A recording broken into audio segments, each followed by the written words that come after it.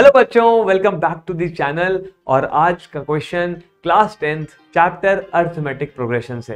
एक बहुत important question है। और अगर आप भी शौक रखते हो अच्छे अच्छे क्वेश्चंस प्रैक्टिस करने का तो आपका सामना इस क्वेश्चन से ज़रूर हुआ होगा, क्योंकि ये question almost every reference book का पार्ट है।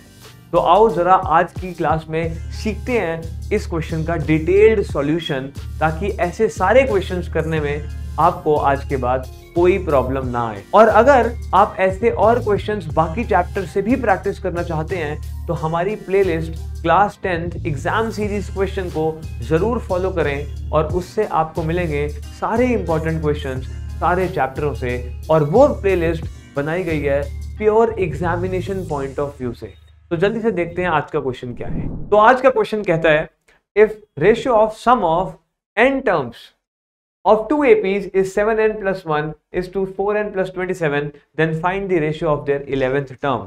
आपको दिया हुआ है पहली रेशियो का Sn जो कि है 7n plus 1 और इसके साथ आपको रेशियो में दी हुई है दूसरी AP का Sn जो कि है S dash n, और वो आपको दिया हुआ है रेशो में 4n plus 27 और ये दोनों रेशो में दिए हुए हैं आपको। आपने कहा, सर, पहली जो एपी है, उसका एस एन है seven n plus twenty one तो पहली एपी की हम एस एन को क्या लिख सकते हैं? आप सब जानते हो एस एन का फॉर्मूला और एस एन का फॉर्मूला होता है n by two two a plus n minus one into d और दूसरी एपी का एस एन दिया हुआ आपको four n plus twenty seven और उसको हम लिख सकते हैं n by two two a dash plus n minus one d dash. आपने कहा, सर, ये ए डैश, डी डैश क्यों लिया? क्योंकि हम नहीं बोल सकते कि दोनों का एपी ए दोनों एपी का ए या फिर डी मतलब दोनों एपी के फ़र्स्ट टर्म और कॉमन डिफरेंस ज़रूरी नहीं है कि सेम हो। इसलिए हमने पहले को ए बोला और दूसरे को ए डैश बोला। आप ए वन ए टू भी बोल सकते हो। तो आओ जल्दी से देखते हैं। इसके सामने हमने लिख दिया, seven n plus one divide by four n plus twenty seven. Maths आपसे एक ही चीज़ मांगती है कि आपको कोई भी क्वेश्चन को रटना नहीं है, क्योंकि जो भी चीज़ आप रटते हो, वो आपको ज़्यादा टाइम तक याद नहीं रहती। तो जल्दी से अगर इसका डिटेल्ड सॉल्यूशन देखें तो ये n by two n by two cancel हो जाएगा, क्योंकि ऊपर नीचे दोनों में मल्टीप्लाई में है और सेम है। तो n by two n by two cancel हुआ। हमारे पास आ गया two a plus n minus one into d upon two a dash plus n minus one into d is equal to seven n plus one upon four n plus twenty seven आपने कहा, sir, अब क्या करें? मैंने कहा, बहुत आसान सी बात है। यहाँ पर समझने की बहुत ज़रूरत है। सिर्फ़ अगले एक मिनट में आप सारे क्वेश्चंस का आंसर समझ जाओगे। मेरी बात ध्यान से सुनना। आपको निकालना क्या है? आपको निकालना है इलेवेंथ टर्म मतलब ए इलेवन अब ए इलेवन होता क्या है?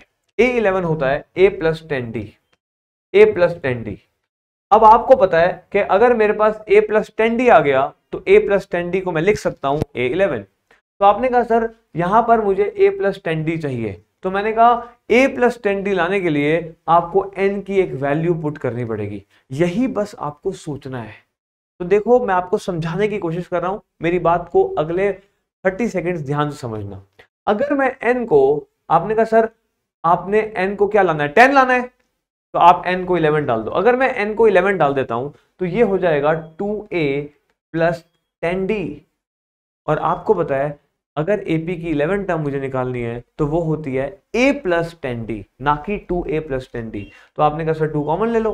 तो अगर मैं टू कॉमन लेता हूँ तो ये तो हो जाएगा ए मगर ये हो जाएगा फाइव डी और ए प्लस फाइव डी होती है सिक्स टर्म ए सिक्स मगर मुझे निकालनी है इलेवेंथ टर्म तो आपको सोचना है कि मैं ऐसा क्या नंबर डालूं एन की जगह, ताकि उसमें से टू कॉमन लेने के बाद भी टेन बच जाए। तो सबसे पहले हमने सोचा कि अगर मैं एन को ट्वेंटी वन डाल देता हूँ तो twenty one minus one this will be twenty और ट्वेंटी से टू कॉमन लूँगा तो आ जाएगा टेन मेरा सोल्यूशन मतलब मेरा आंसर तभी आएगा जब मैं एन को ट्वेंटी वन डालूँगा। मेरी बात आपको अच्छी तरह समझ में आई होगी।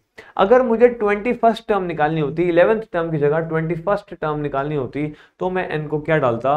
अगर मुझे ट्वेंटी फ़र्स्ट टर्म निकालनी है तो मुझे चाहिए था ए प्लस ट्वेंटी डी और मुझे अगर यहाँ ट्वेंटी चाहिए तो यहाँ पर मुझे ऐसा नंबर चाहिए जिसको टू से डिवाइड करने पर ट्वेंटी आए तो मुझे यहाँ चाहिए फोर्टी। तो फोर्टी अगर मुझे यहाँ चाहिए तो इस नंबर से वन माइनस करूँ ताकि फोर्टी आ जाए तो फोर्टी वन डालूँगा एन को, ताकि forty one minus one forty हो और फोर्टी जब टू से डिवाइड हो तो वो ट्वेंटी डी बन जाए। बिल्कुल ठीक सोचा आपने। तो यहाँ पर हमने एन को प्लेस किया put n is equal to teacher को बोला put n is equal to twenty one और हमने पूरे क्वेश्चन में एन की जगह ट्वेंटी वन डालना है और हमारा आंसर हमारे सामने होगा। Two a plus twenty one minus one into d upon two a dash plus twenty one minus one into d is equal to यहाँ seven n seven into twenty one plus one upon four into twenty one plus twenty seven और ऊपर आ गया आपके पास two a plus twenty d upon two a dash plus twenty d dash is equal to seven into twenty one is one forty seven and one forty seven plus one is one forty eight and this is one one one और अब आपने क्या करना है? आपने ऊपर से two common ले लेना है। तो हमने लिया ऊपर से टू कॉमन तो बचा ए प्लस टेन डी और नीचे से भी लिया टू कॉमन तो इधर बचा a dash plus ten d dash और is equal to one forty eight by one one one. और आप सबको पता है, ये टू से टू कैंसिल हो गया। और ए प्लस टेन डी को हम लिख सकते हैं ए इलेवन, इलेवेंथ टर्म और a dash plus ten d dash को हम लिख सकते हैं ए डैश इलेवन टर्म और 148 और 111 को हम 37 से कैंसिल कर सकते हैं विच इज़ 4 बाय 3 तो आंसर आ गया आपका 4 by 3 which is the right answer of this question मगर यहाँ पर हमारी वीडियो खत्म नहीं होती। ऐसा ही एक और क्वेश्चन है आपके सामने। आओ जरा देखते हैं इस क्वेश्चन को। सेम क्वेश्चन है बट आपको इस क्वेश्चन में अब निकालना है ratio of their mth term तो आपको पता है कि आपको दिया हुआ है S n by S dash n is equal to seven n plus one by four n plus twenty seven और एस एन को आप लिख सकते हो n by two two a plus n minus one into d और नीचे आप n by two two a dash plus n minus one d dash same steps follow कर रहा हूँ जो पिछले क्वेश्चन में किए थे seven n plus one by four n plus twenty seven और n by two n by two cancel हो गया। आपके सामने आ गया two a plus n minus one into d upon two a dash plus n minus one into d dash is equal to seven n plus one by four n plus twenty seven बहुत अच्छी बात है इस question में यहाँ पर। हमें चाहिए m h term a m a m क्या होता है? A plus m minus one into d मेरी बात समझ में आ रही है आपको? तो आपने कहा, सर अब मेरे पास ए होना चाहिए, यहाँ तो टू ए है तो टू कॉमन ले लेंगे। तो टू जब कॉमन लेंगे तो यहाँ पर क्या बचना चाहिए? यहाँ बचना चाहिए एम माइनस वन तो एम माइनस वन तब बचेगा जब यहाँ पर होगा टू एम माइनस टू कैसे क्रिएट होगा? आपने कहा, सर एन को ऐसा क्या डालू कि टू एम माइनस टू आ जाए? मैंने कहा माइनस वन हमारे पास ऑलरेडी है। माइनस वन के साथ माइनस वन चाहिए तो माइनस टू आ जाएगा।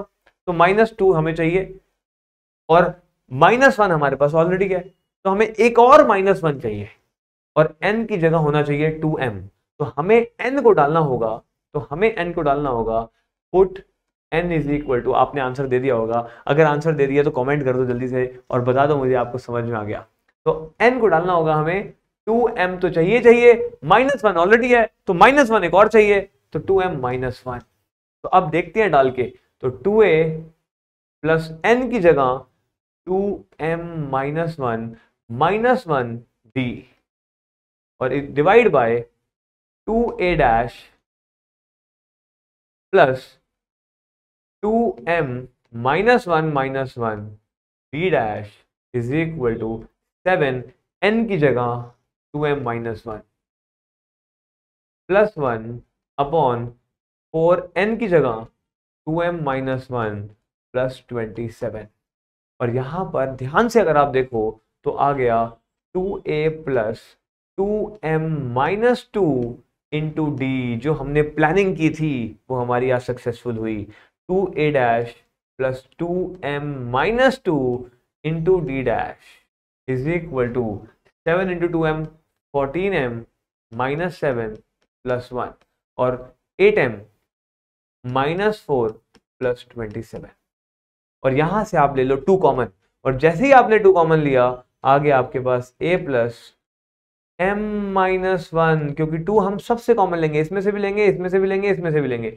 इन टू डी ब्रैकेट बंद, और नीचे आ गया two common a dash plus m minus one into d dash is equal to fourteen plus one sorry fourteen m fourteen m minus seven plus one minus six upon eight m minus four plus twenty seven is plus twenty three और आपने two से two cancel किया और a plus m minus one d होता है A M और a dash m minus one d dash होता है a dash m is equal to answer आ गया आपका fourteen m minus six upon